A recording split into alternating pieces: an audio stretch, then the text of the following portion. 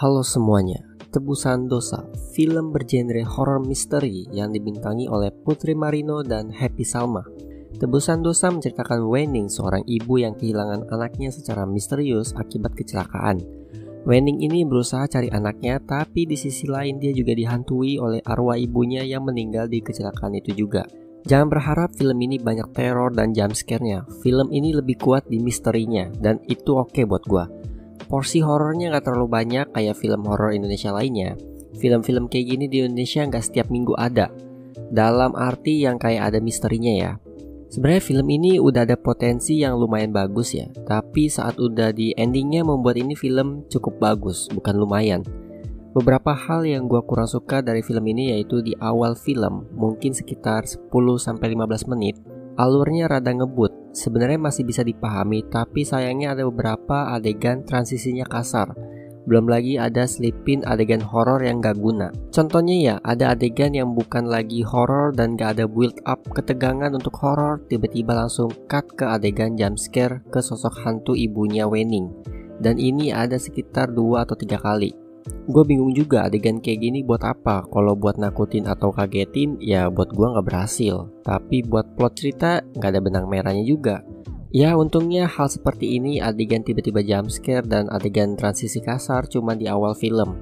Sisanya fine-fine aja. Kemudian dari segi suara, ini gak terlalu banyak ke notice ya, tapi tetap aja mengganggu. Yaitu dalam beberapa adegan kelihatan banget kalau di dubbing.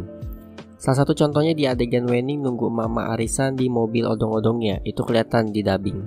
Treatment horror di film ini sayangnya repetitif. Yang paling sering dipakai yaitu si nenek atau si ibunya Wenning yang berdiri di pojokan.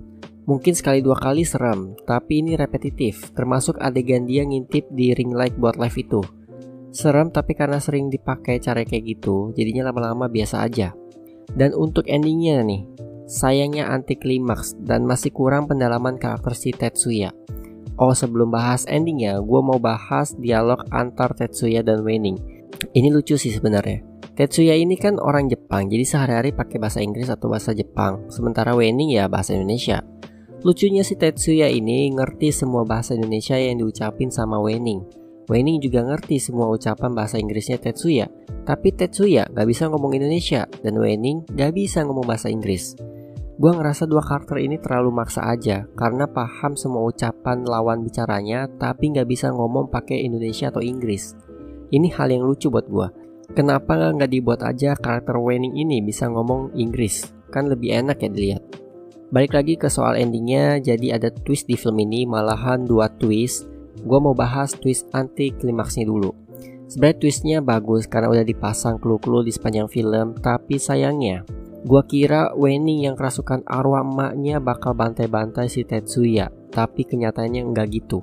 Soalnya sempat ditunjukin kan kalau Wenning ini sempat bisa terbang pas kerasukan arwah. Tapi yang terjadi adalah endingnya anti klimaks. Lalu twist kedua. Nah twist kedua sebenarnya rada ngerusak judulnya.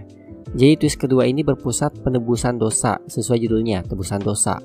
Si Weni minta tolong dukun dan dukunnya suruh melakukan penebusan dosa karena anaknya mungkin disekap sama penghuni sungai tersebut. Tapi ternyata dia ditipu sama dukun itu. Jadi ya letak judul tebusan dosa nggak ada sebenarnya.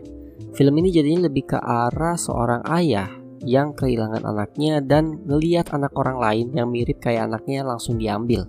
Belum lagi Tetsuya ini digambarkan orang yang tidak suka anak kecil nakal dan suka menghukum anak kecil yang berbuat nakal. Cuman gak ada gambaran perlakuan tersebut sebelum twistnya muncul. Jadi tiba-tiba aja dia bilang gua gak suka anak kecil yang nakal. Untungnya film ini masih terselamatkan oleh aktingnya Happy Salma dan Putri Marino, serta color grading yang enak di mata. Gue masih suka elemen misteri yang dimasukkan lebih banyak daripada horornya. Jadi nggak capek gitu lihat horornya mulu. Masih ada beberapa jump scare yang berhasil, salah satunya tangan yang muncul di ring light berhasil dimanfaatkan dengan baik ring light-nya ini ya. Overall, Tebusan Dosa menjadi film misteri horror yang masih enjoyable untuk ditonton. Sound desainnya nggak terlalu nyakitin telinga jadi aman, ceritanya masih enak diikuti meskipun ada beberapa kekurangan. So itu saja review dari gue, terima kasih bagi yang sudah menonton, like, comment, subscribe. Gue Rakis, signing out.